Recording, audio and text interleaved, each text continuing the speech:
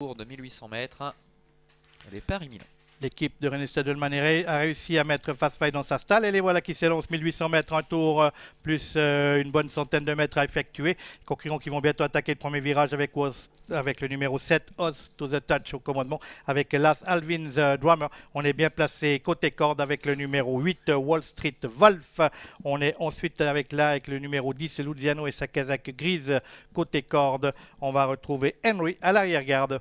Et Fix également à l'arrière qui tire hein, avec euh, Flying Lady euh, qui se retrouve également parmi euh, les derniers débuts de la ligne en face avec Alvin the Dreamer, le favori qui a pris les choses en mode avant Hot to the Touch, le numéro 7 qui précède le 5 Fast Flight qui emmène dans son sillage le 3 Tommy D avec Wall Street Wolf également qui se retrouve côté corde. Un peu plus loin galope Luciano, le numéro 10 avec à son extérieur le numéro 2 Just Brilliant pour se diriger vers le milieu de la ligne opposée.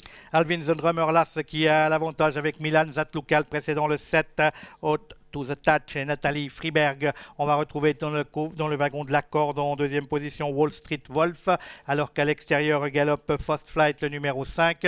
On est là également avec Tommy D le numéro 3. Just Brilliant devenant ensuite devant Henri Mocafix et c'est toujours euh, Flying Lady qui est un peu en âge qui ferme la marche. Le dernier tournant, Alvin the Dreamer, le numéro 1 avec Milan Zatloukal en tête pratiquement depuis le départ. L'extérieur Fast Flight qui commence à être sollicité. Côté corps de le 7, Hot to the Touch avec Tommy D, Wall Street Wolf également qui est là et Just Brilliant qui se rapproche avec David entre sources mais qui doit négocier la fin du tournant complètement à l'extérieur. Alvin the Dreamer euh, qui tente de repartir maintenant avec euh, Hot the Touch qui est à la corde avec Luciano également qui refait un peu de terrain en dedans alors que Wall Street Wolf s'allonce également au centre avec à l'extérieur le numéro 3 euh, Tommy D qui tente de revenir ainsi que Flying Lady maintenant qui a trouvé le passage au centre à 100 mètres de l'arrivée avec Flying Lady la casaque bleue qui vient vite avec à la corde Luciano Luciano Flying Lady, Luciano qui va s'imposer face à Flying Lady. Alvin the Dreamer, le favori, termine 3 quatrième place pour le 8, Wall Street Wolf.